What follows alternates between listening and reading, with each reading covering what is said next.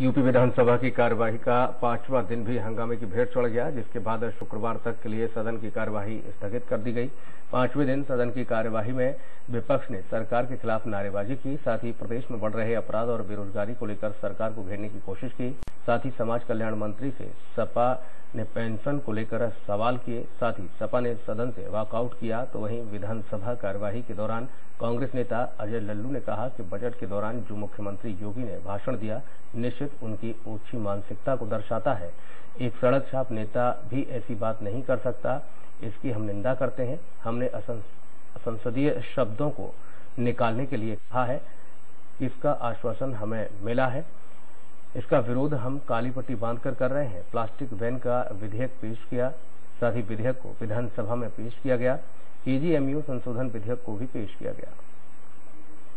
तमाम ऐसे लोग हैं, काम करने वाले लोग हैं, एनजीओ चलाने वाले लोग हैं, हम लोग में संपर्क हैं, में रहने वाले हैं। अगर ये पीपीपी मॉडल के अनुसार भिक्षुक गृह एनजीओ के द्वारा चलाना चाहते हैं तो हम भी उनकी सहायता करने के लिए तैयार हैं। लेकिन आप लोग आइए तो सामने आइए, व्यवस्था करिए तो।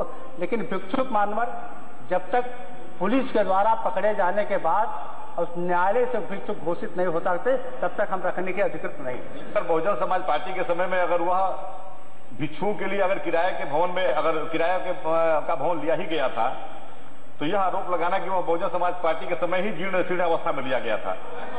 बहुजन समाज पार्टी को माननीय माननीय अध्यक्ष जी नहीं नहीं माननीय अध्यक्ष जी तो माननीय मंत्री जी यह बता दें कि वह भिक्षुओं के लिए किराए पे भवन कब लिया गया था और उस समय उसकी स्थिति क्या थी उस समय? शेष जनपद जो बच्चे हैं उनका सत्यापन कब तक करा लेंगे? सभा में जो बजट के दौरान माननीय मुख्यमंत्री जी का जो वक्तव्य था, निश्चित उनकी ओछी मानसिकता को दर्शाता है। इतिहास में